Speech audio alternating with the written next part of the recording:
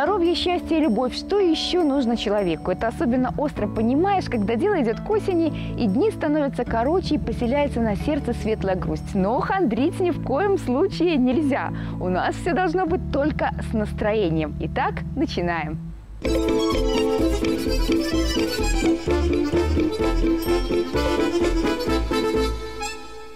Вишня отличается тем от других сортов, что э, когда она набирает урожай, все, все ветви отгибаются, и поэтому, если бы вы видели эту, эту вишню на цветение, она была, была бы в два раза выше.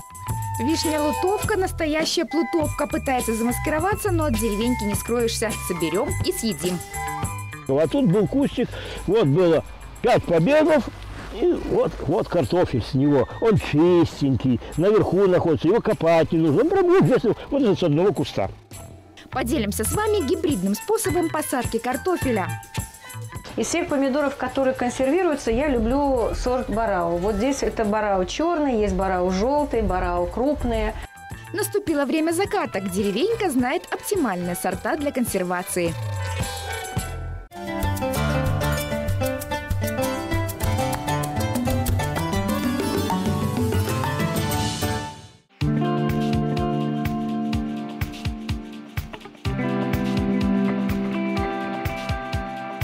Уборочная кампания в этом году прошла без особых трудностей. Помогла погода, ведь не было дождей. Лучший молодежный экипаж Могилевской области из сельхозпредприятия «Александрийское» под финиш уборки Сергей Байдаков и Сергей Котловский намолотили 5 тысяч тонн зерна. Им по 21 году, но уборочная у одного десятая по счету, а у другого шестая. Ну, уже привыкший к этому был комбайну. Уже все-таки 10 лет, ну, и получалось все хорошо, и сам убирал самостоятельно.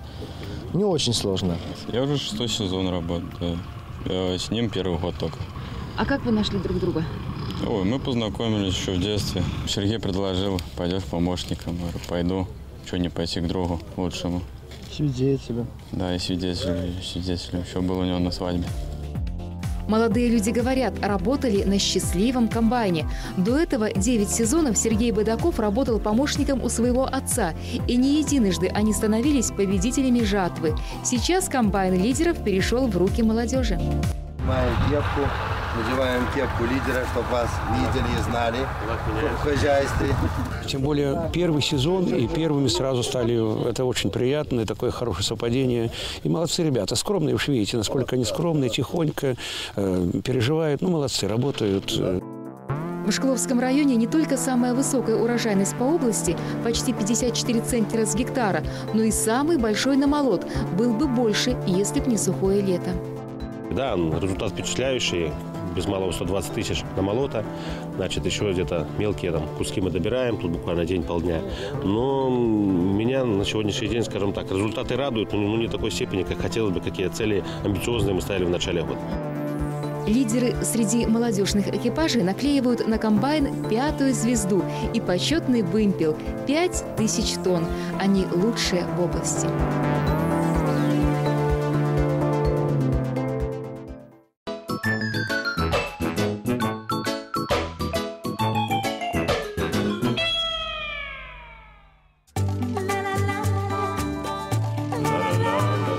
Нас в деревеньке иной раз такие садоводы-огородники попадаются, что любо-дорого поглядеть, а еще лучше поучиться.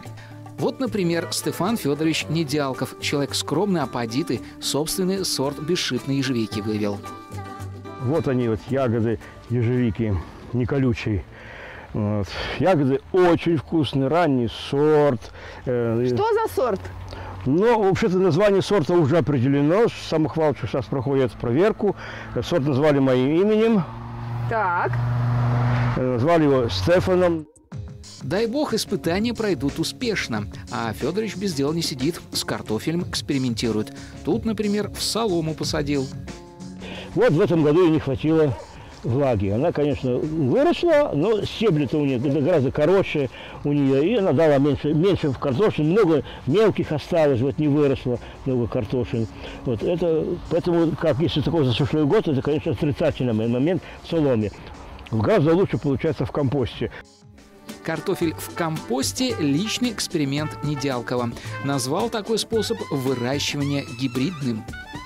Ну, вначале, конечно, прокультивировал все, чтобы на 5 сантиметров землю. Потом натянул шнур и посадил картофель. Засыпал землей, чтобы только засыпать его. Когда он пустился в рост, видно, где он уже растет, я начал косить траву, прямо свежую траву или прошлогодний компост травяной. Я обкладывал эти растения.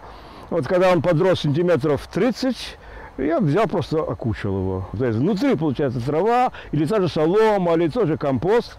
Показывайте. Вот, внутри получается, вот вытаскиваем кустик, это я уже выбирал, ну, другой кустик покажу. Вот, вот вытягиваем куст, и вот здесь внутри вот компост, вот он, компост, это будет трава свежая, и очень легко копается такой картофель. Хорошая картошка. Вот, вот, пожалуйста, картошка прямо здесь. Ну, это кустик поменьше, э, потому что у него меньше побегов, а тут был кустик, вот было пять побегов, и вот, вот картофель с него. Он чистенький, наверху находится, его копать не нужно. Он прям вот здесь, вот с одного куста. И правда, просто и функционально. У Федоровича все так. За что не возьмется, что-то новенькое да придумает.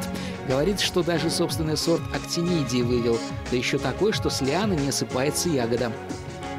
Растет во дворе у Федоровича и малина. Этой ягодой увлекался в начале 90-х. Раньше у него было полтора десятка сортов. Сегодня основные «Мираж», «Желтый гигант», «Оранжевое чудо» и... Сорт малины называется он «Поляна». Сорт, польский сорт. Вот если хотите иметь много ягод сразу, хоть для переработки, хоть поесть, потому что мы с нее делаем очень много сиропов, делаем, да и вино делаем с нее. Вот. И так можно посадить именно вот этот сорт. А самая главная гордость сельчанина – клематисы.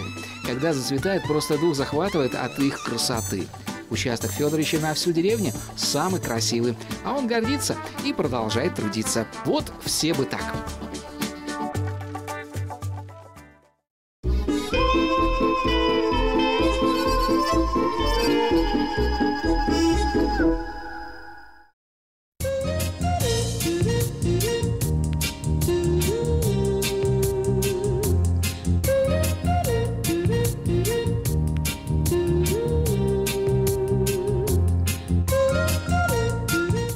Налитые соком, крупные вишни свисают чуть ли не до земли. Спросите, как такое может быть в конце августа? У нас в деревеньке возможно все. На предприятии Арника, что в Могилевском районе, урожай всегда собирают в конце лета. Здесь на 40 гектарах растет сорт польской селекции – лутовка. Вишня отличается тем от других сортов, что э, когда она набирает урожай, все, все ветви отгибаются и Поэтому, если бы вы видели эту, эту вишню на цветении, она была, была бы в два раза выше. Этот сорт преимущественно для комбайновой уборки, но собирают вишню вручную. Уж больно ягоды хороши, да и ценится такая вишня дороже. Продаем там и с веточкой, и без веточки э, под заказ. Кто-то покупает на э, цели там, для виноделия, э, для производства соков, а кто-то чисто на, для того, чтобы поторговать на прилавке населения, для населения. Угу. Ну а почем вот килограмм вишни нынче? Разница цена от 6 до 20 тысяч сегодня. И на вид и по вкусу ягоды очень напоминают черешню. В наших климатических условиях лутовка явно прижилась. А в этом году в Арнике и вовсе ожидается урожай в три раза больше прошлогоднего – 500 тонн. Все подкормки, там, удобрениями, и все это делается в основном вечером или ночью.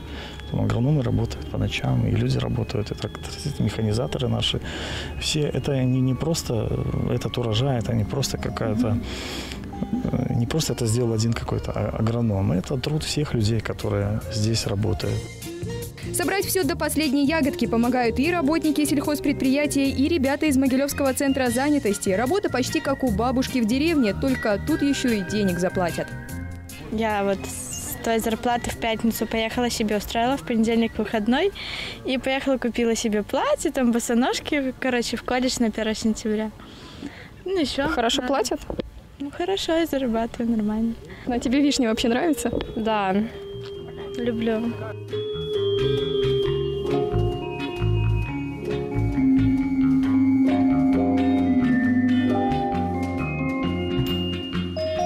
На полях Арники работа кипит. Как соберут вишни, поспеет малина. Ее, кстати, собирать можно аж до первых заморозков. А еще яблоки и овощи. Про урожаи, возвращенные трудолюбивыми руками, мы вам обязательно расскажем.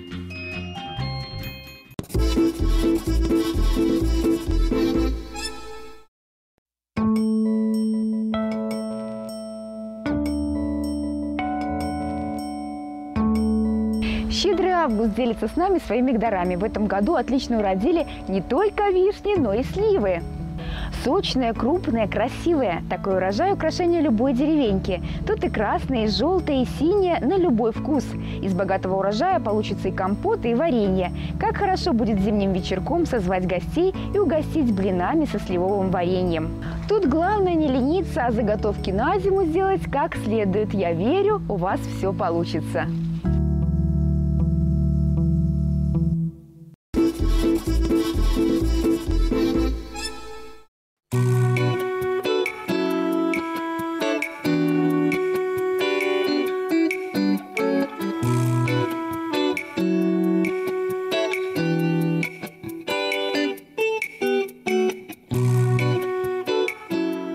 Оксаны Котович такие теплицы, что любой в деревеньке позавидует, а к теплицам прилагаются руки, ведь без труда хорошего урожая не добиться даже в самых современных теплицах. Увлечение хозяйки – томаты.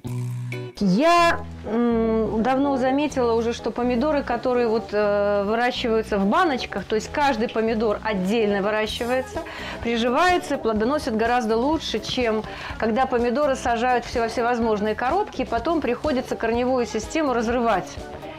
Вот, я потом могу вам показать банки, в которые я сажаю помидоры. То есть каждый помидор я выращиваю отдельно. И когда я его сажаю в землю, практически нет периода приживания и всего остального. Он уже готов, и он уже сразу растет. У Оксаны правило – семья ест только то, что выращено на собственном огороде. Я думаю, что это здорово, когда можно сорвать вот такой перец. Вот этот тоже уже красненький начинает, мешает другим. Хозяйка знает секрет, как получить хороший урожай перцев. Много лет покупала всевозможные сорта перцев и пыталась выращивать их в теплице, на улице. Но, честно говоря, не очень получалось.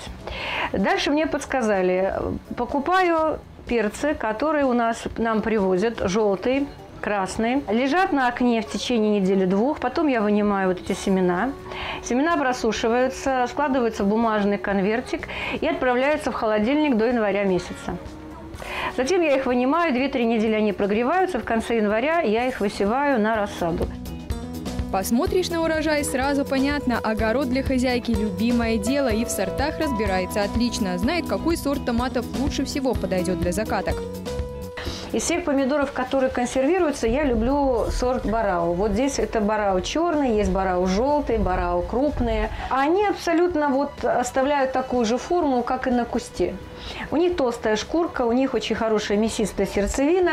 И когда из банки вынимаешь помидоры, в общем, есть что есть. А как барау ведут, ведут себя в теплице? Отлично. Вообще, это самые неприхотливые помидоры. Э, Вот если остальные могут там и с мучнистой росой воевать надо, и со всем остальным, вот они такие будут до ноября месяца. Если поливать теплицу и плотно закрывать, в ноябре снимаем помидоры. В ноябре. Эх, навестить бы Оксану зимой и отведать хозяйской консервации. Возможно, так и поступим.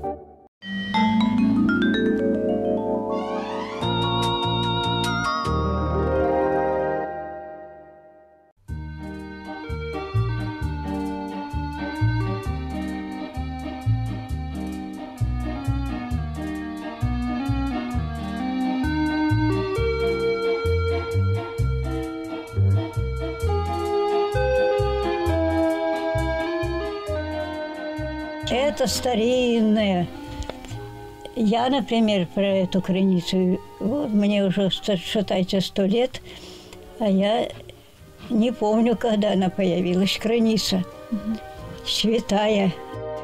Нина Афанасьевна Зеренкова, старожил в деревне Будина Чауского района, помнит о многом, что связано с этой местностью, но свой рассказ начинает именно с будянского источника. До войны и она существовала в доме, эта крыница. И дом пятистенный, правда, пола не было там, э, земляный пол, а крыница пяти ключей была. Посреди большой ключ и, под, и четыре по углам.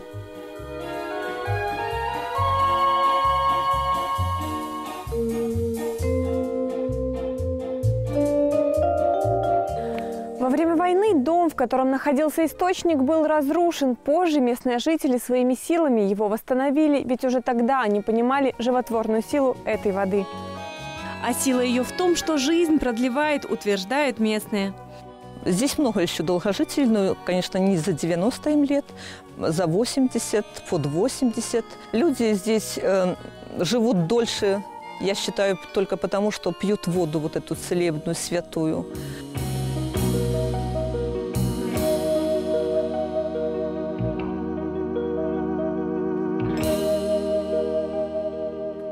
Источник внегласно признали местной святыней. Сюда стекались люди со всех близлежащих деревень, пока в 60-х годах этих мест снова не коснулись разрушения.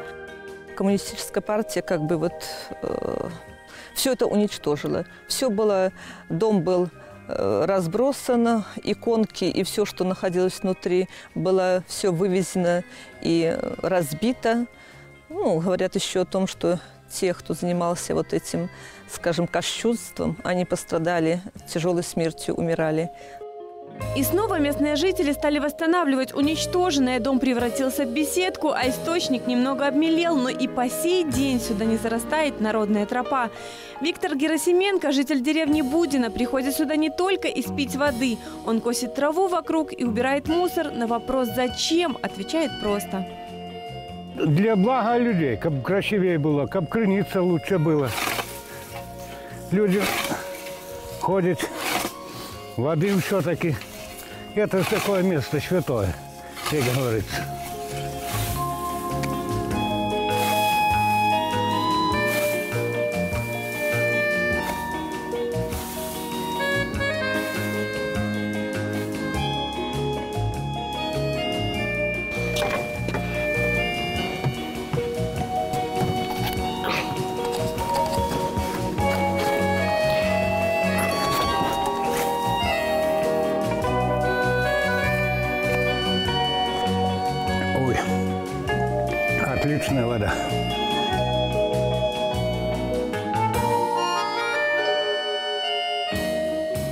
Испив воды, Виктор замечает, в источнике появились новые ключи. Их уже больше пяти, будто сама природа пытается сказать человеку что-то важное.